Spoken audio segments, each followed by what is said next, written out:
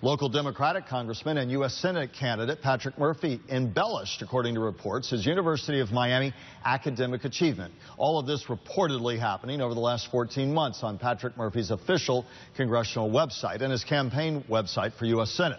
Murphy claimed he earned degrees in accounting and finance from the University of Miami. Murphy did earn a single degree from the university in 2006, a bachelor's in business administration with his major areas of study being accounting and finance. But that's not the same as dual degrees.